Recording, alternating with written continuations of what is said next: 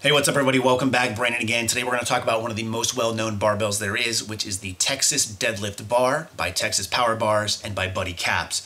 Now, this bar by far is the gold standard when it comes to deadlift bars, even more so than the Okie Deadlift Bar or the newer Rogue Ohio Deadlift Bar. I think anytime you see some crazy amount of weight being pulled on YouTube or Instagram and the bars bending like crazy, it's almost always a Texas deadlift bar.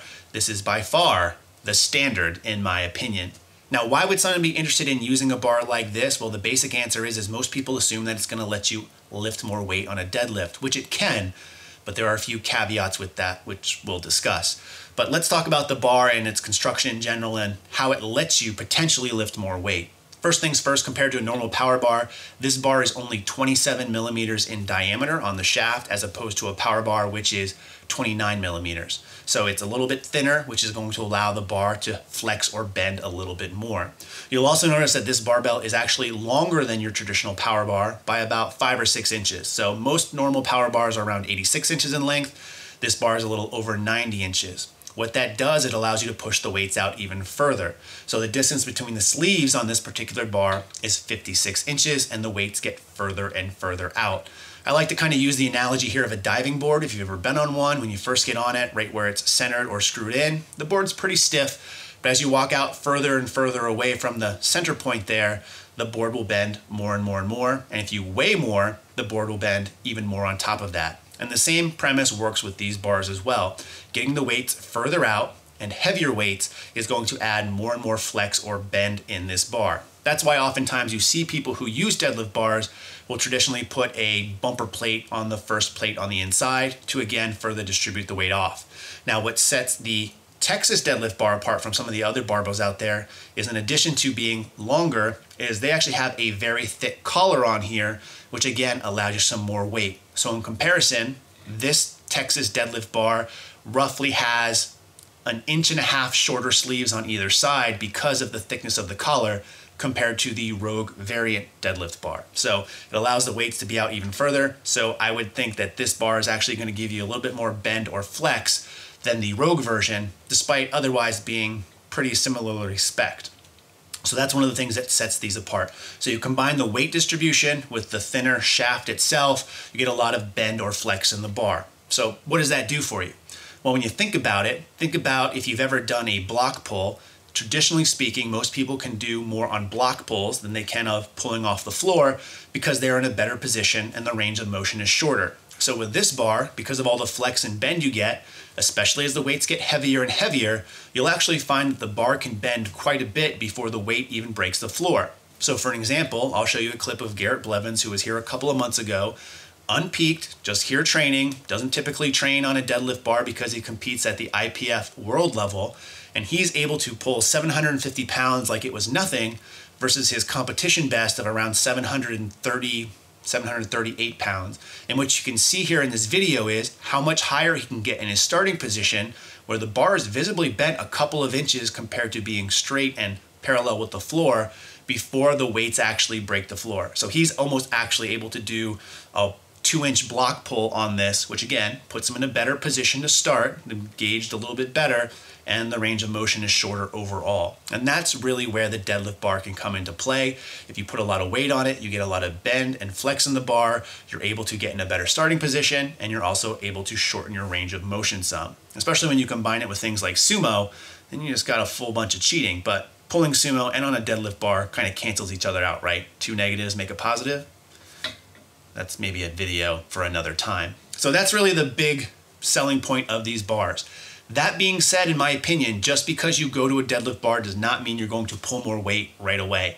There is a lot of technique involved, especially around pulling that slack out or getting that initial bend in the bar before the weights break the floor. I know personally, the first time I used this, it really threw me for a loop because I was not used to getting as tight as I needed to. Now, true, I would try to pull myself into a stiff bar, and I thought I was doing a good job of getting myself out tight, but in this bar, it's almost like two lifts in one. You first have to lift all the slack out and get as tight as possible, and then you initiate the lift. But if you don't do that, you'll find that it's quite humbling and it'll probably throw you off quite a bit. And your, for me at least, your hips shoot up and it just gets ugly. So This bar is tough if you're not pulling the slack out, so you really need to work on your technique if that's something you want to maximize in terms of the most weight possible with this bar. I actually think for me personally, someone who prefers to pull on a stiff bar, as weird as that sounds, I think this bar does help because this will help you work on pulling out that tightness. And what I will say is my setup has become more tight since I've been using this bar in my training here and there just because I try to kind of get that feel of pulling the slack out, which might be a little bit more difficult on a stiff bar because the bar doesn't move at all and you can't really tell if you're doing a good job or not. So that's one of the things I would suggest on this bar. So a deadlift bar, is it for you? In my opinion, it really depends. If you just want to play around with it, you have the extra money, by all means do it. If you compete in a federation that uses this as part of its competition lifts, like the USPA, for example, I do think it makes sense. If you're an IPF lifter, and traditionally pull on a stiff bar and want to pull towards competition style lifts, I don't think this barbell is really for you necessarily. I also don't think this is a bar that you would get as your first barbell because you wouldn't want to squat or bench on it because that flex and that bending, which is so helpful on deadlifts, can really throw you off on some of those other lifts like squat and bench. And we'll kind of break down some other reasons why you wouldn't want to do that. In order to do that though, we need to actually talk about this particular bar itself. So as I mentioned, the whole Texas deadlift bar, Buddy Capps, Texas power bars in general, is pretty iconic in the strength industry. And I think part of that, besides just the name, is also the look. They almost always have a black zinc shaft and raw steel sleeves. And that's exactly what this bar has. And regardless if you're talking about the power bar, the squat bar, the deadlift bar, they almost always have that same finish. Now, one of the things that's interesting is Texas Power Bars has finally come up with their own website in 2018 after several decades of only being available through resellers and they now offer some other variants in terms of the finish on both the shaft and the sleeves as well. So for example, the Texas All-American bar that I own has chrome sleeves, which I think hold up a lot better and look a lot nicer. But again, it is at an added cost if you're interested. So speaking about the sleeves in general, one of the things I will say also that make this bar iconic are the end caps. You have the Texas State outline with Buddy Cap signature inside. The other end, you have the bar designation, which is really nice because if you have a bunch of different bars from Texas Power Bars, you can easily identify which bar is which, and hopefully that'll lead people from not benching or squatting with these, although I have seen them in some instances, which is always very cringe-worthy. Sticking with the sleeves here, you'll also notice that it has a two-pin design to hold the actual sleeves on, which is different than the industry standard these days of the snap ring. Iconic, yes. Functional, I would probably prefer to see a snap ring design. I think those are easier to get on and off if you need to do maintenance. The upside is you shouldn't have to do maintenance on a bar like this ever. I've also talked about the length of the collars on the sleeves. Again, it's kind of a Texas Power Bar standard. Although if you follow them on Instagram, you'll notice that they are now testing a thinner collared bar as well. So that'll be interesting to see when it comes to fruition. And on these actual collars themselves inside, they use bronze bushings. Again, industry standard and shouldn't really be worried too much about the spin on a deadlift bar, so I won't talk about them too much. Let's talk about the shaft, which is the thing that everybody really cares about. So as I mentioned, 27 millimeters in diameter. This one is black zinc.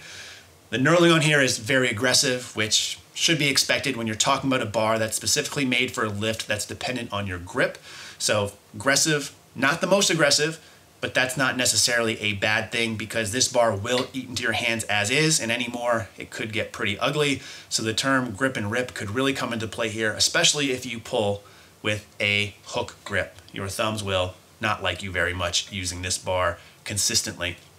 I think one of the things though that I've seen with the black zinc in general is those knurlings are typically dulled a little bit just because you're dealing with the steel and then the black zinc on top and then your hand itself. So there's an extra layer between yourself and the steel. But again, I don't think anyone will have any complaints with the knurling on here. Speaking of the knurling, you'll notice that it's just in this region here. So it's not extended out to the sleeves. That's because you should not be gripping a deadlift bar out here like you would on squats or some Olympic lifts.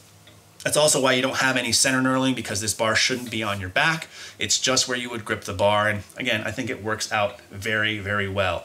It does have knurl marks for powerlifting, which I find a little bit interesting. I don't think they're necessary only because at least personal experience is when I set up for a deadlift, I typically use the start of the knurling to really gauge where I'm going to be gripping, uh, but they are here if you need them. So that is the Texas deadlift bar.